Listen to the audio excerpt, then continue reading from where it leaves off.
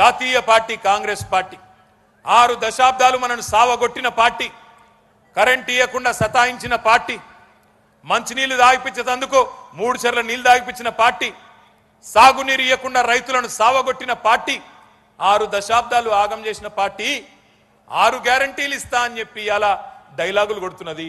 ఇప్పుడు మా ఆడబిడ్డలు ఒక్కసారి ఆలోచన చేయాలి. మీరు ఏదైనా షాపుకు పోయి ఒక మిక్సరో గ్రైండరో లేకపోతే ఇంకేదైనా వస్తువును ఒక బల్బో ఒక చిన్నపాటిది ఏదైనా కొంటే ఒక ఇస్త్రీ కొంటే ఆ కంపెనీ వాడు రాస్తాడు దాని మీద. ఇగో అక్క రెండేళ్ళ వారంటీ ఉన్నది. ఆ తర్వాత మీ బాధ్యత అంటాడు. మరి కాంగ్రెస్ పార్టీ వారంటీ ఉన్నదా అసలు కాంగ్రెస్ పార్టీకి ఈరోజు? ఎప్పుడో భూమి పుట్టినప్పుడు పుట్టింది ఆ పార్టీ. నూట యాభై ఏళ్ళ కిందనో నూట డెబ్బై ఏళ్ళ కిందనో పుట్టింది. ఆ పార్టీ వారంటీ అయిపోయి వందేళ్ళ అట్లాంటి వారంటీ లేని పార్టీ ఇలా ఇచ్చే గ్యారంటీకి విలువ ఉంటుందా? ఆలోచించండి. ఇంకొక మాట నేను ఆలోచించమని కోరుతున్నా. ఇవాళ కాంగ్రెస్ మాట్లాడుతుంటే కాంగ్రెస్ నాయకులు గొంతులు దించుకుంటే మాకు నిజంగా గమ్మత్ అనిపిస్తున్నది. ఏమంటున్నారు కాంగ్రెస్ నాయకులు? ఒక్క ఛాన్స్ ఇవ్వండి ఒక్క ఛాన్స్ ఇవ్వండి అద్భుతాలు చేస్తాం. ఒక్క ఛాన్స్ ఇస్తే ఆకాశంలో ఉన్న చందమామను కూడా తీసుకొచ్చి గోదావరి కని చివరస్థల కూర్చోబెడతాం అని డైలాగులు కొడుతున్నారు కాంగ్రెస్ వాళ్ళు. ఒక్క మాట ఆలోచించండి. ఒక్క ఛాన్సా? పదకొండు ఛాన్సులు ఇచ్చిండ్రు మీరు వాళ్ళకు. యాభై ఐదు అరవై ఏళ్ళు వాళ్ళే కదా ఈ దేశాన్ని రాష్ట్రాన్ని నడిపింది. కొత్తగా నిన్ననే ఆకాశంలోకి వెళ్ళి ఊడిపడ్డట్టు. కొత్తగా నిన్ననే వాళ్ళకు అవకాశం మొదటిసారి దక్కుతున్నట్టు వాళ్ళు మాట్లాడే మాటలు వింటే నవ్వాలనో ఏడవాలనో తెలియని పరిస్థితున్నది. ఎంత గమ్మత్ అనిపిస్తున్నది అంటే కాంగ్రెస్ పార్టీ మాటలు వింటే నాకు ఒక చిన్న కథ గుర్తొస్తున్నది. వెనకటికి మన గోదావరి కనసంటి ఊళ్ళోనే ఒక పెద్ద మనిషి ఉండే. ఆ పెద్ద మనిషికి దగ్గర దగ్గర నూట ముప్పై ఏండ్లు ముసలామెకు. నూట ముప్పై ఏళ్ళ వయసున్న పెద్ద మనిషి ఆమెకు మన్మడో మన్మరాలో పుడుతుండ్రు ఇక కోడలు గర్భవతి. మన్మడో మన్మరాలో పుట్టేది ఉన్నది పుట్టేది ఉంటే వెంటనే ఇక చలికాలం వస్తుంది కదా అని చెప్పి ఆ పుట్టబోయే పిల్లకు కుల్లగుట్టుడు మొదలుపెట్టింది. సాయంత్రం పుట కుడుతుంది ఐదున్నర ఆరు గొట్టంగా. కుడతా కుడతా ఉంటే ఆయన దారంలోకెళ్ళి సూది జారిపోయింది కింద పడ్డది. చాలాసేపు దేవులాడింది. దొరకలే. దొరకకపోతే ఆయన అటు ఇటు ఇటు అటు చూసింది. ఇంకో ఐదు నిమిషాలు దేవులాడింది. దొరకలే. దొరకకపోతే అటు పక్కకు తిరిగి చూసి అక్కడ దేవుని పటం ఉంటే దేవునికి మొక్కింది.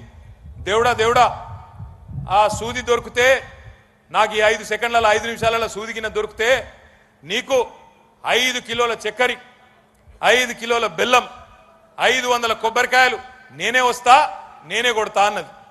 కోడలు పిల్ల వంట చేసుకుంటాంది ఇంట్లో. ఒకటేసారి ఉరికొచ్చింది బయటికి. అత్త నీకు పురాగా నెత్తిపోయినట్టుంది నూట ముప్పై ఏళ్ళు వచ్చినాయి కదా ముసల్దానం కదా నీకు పురాగా నెత్తి ఖరాబ్ అయినట్టుంది ఎవడన్నా ఐదు పైసల సూది కోసం ఐదు కిలోల చక్కెర ఐదు కిలోల బాల్- బెల్లం ఐదు వందల కొబ్బరికాయలు కొడతాడా అత్త? నీకేమైనా బుద్ధి ఉన్నదా అన్నదట. అంటే అత్తగారు ఏమన్నదట తెలుసా? ముసలామె బాగా హుషారు. ఏమన్నదట ఎరికేనా? ముందు సూదైతే దొరకంతీయ రాదు. తర్వాత దేవుడు వస్తాడా? అడుగుతాడా? నేను దొరుకుతానా దేవునికి? ఎవరి గురించి చెప్తున్నా నేను అర్థమైందా? సమజ్దార్కో ఇషారా కాఫీయే వాళ్ళు ముందే హుషారోళ్ళు మీరు. తెలివైన వాళ్ళు మీరు. మీకు అన్ని అర్థమవుతాయి ముసలి నక్క కాంగ్రెసు. ముసలి నక్క. ముదనష్టపు ముసలి నక్క అది. మామూలు నక్క కాదు. అది ఎసొంటి నక్క అంటే ఇవాళ వంగి వంగి వినయాలు ప్రదర్శిస్తారు.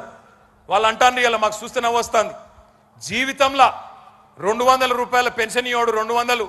దాటి ఇయ్యనోడు ఇవాళ వచ్చేట నాలుగు వేల రూపాయల పెన్షన్ ఇస్తాడట ఎక్కడ పక్కకే ఉన్నది ఛత్తీస్గఢ్. కొద్దిగా అటు మంత్రిని దాటితే ఛత్తీస్గఢ్ కొద్దిగా చెన్నూరు దాటితే ఛత్తీస్గఢ్. అక్కడ కాంగ్రెస్ ప్రభుత్వమే ఉన్నది. ఆడున్నదా నాలుగు వేల పెన్షన్? దేశం లెక్కనన్న ఉన్నదా నాలుగు వేల పెన్షన్ కాంగ్రెస్ ఇచ్చేది? ఇవాళ తెలంగాణలో వికలాంగులకు దివ్యాంగులకు నాలుగు వేల రూపాయల పెన్షన్ ఇస్తున్న నాయకుడు మన ముఖ్యమంత్రి కేసీఆర్ మనకు ఆల్రెడీ ఉన్నాడు. పేదవాళ్ళను కడుపులో పెట్టుకొని చూసుకునే నాయకుడు కేసీఆర్ గారు మనకు ఆల్రెడీ ఉన్నాడు. ఈ పిచ్చోళ్ళు అరవై ఏళ్ళు మనం సావగొట్టిన వాళ్ళు మనకు కావాలనా?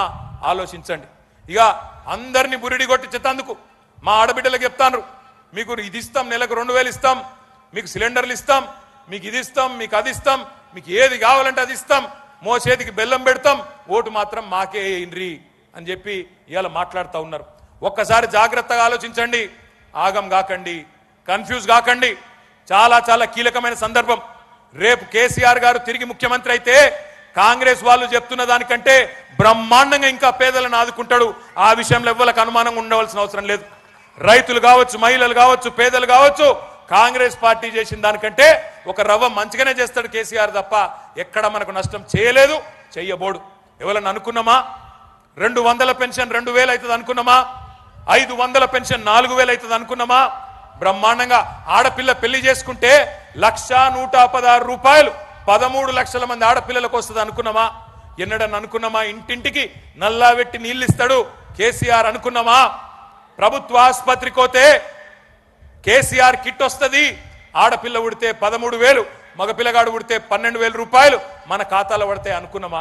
గిన్ని పనులు చేసుకున్నాం. సింగరేణిలో మెడికల్ కాలేజ్ తెచ్చుకున్నాం. కార్పొరేషన్ బాగా చేసుకుంటున్నాం. ఇంకా కొన్ని పనులు మిగిలచ్చు. కొన్ని పట్టాలు కావాలన్నాడు చంద్రన్న. ఇంకా కొన్ని పనులు కావాలన్నాడు. నేను మళ్ళా చెప్తున్నా. చందరన్నను పెద్దపల్లిలో అత్యధిక మెజారిటీతో గెలిపియండి. ఈ నియోజకవర్గాన్ని దత్తత తీసుకొని బ్రహ్మాండంగా అడిగిన ప్రతి పని చేసే బాధ్యత నాది. కౌశికారి గారు కూడా చెప్పినారు.